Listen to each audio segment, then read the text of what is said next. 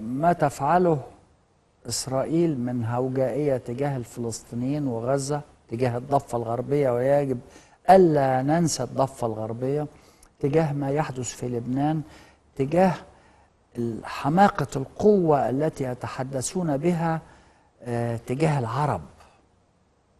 نحن قادرون على الوصول إلى أي منطقة في المنطقة في الإقليم. نعم.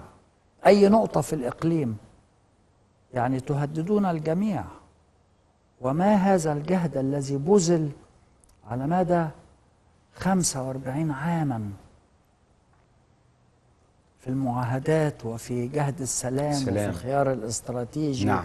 وفي محاولة إقامة النقاش فيأتي من يأتي لكي يتحدث عن التوسع وعن إسرائيل الكبرى وعن آه، نحن نستطيع أن آه، نصل إلى أي نقطة ونضربها.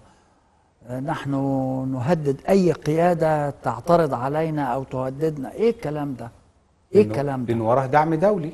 يعني آه، نجاحه في آه، غزة مؤقتا. من وجهة نظره اللي هي الإبادة إنه نجح مؤقتا. مؤقتا. لأنه لن يقتل المقاومة الفلسطينية مهما كان.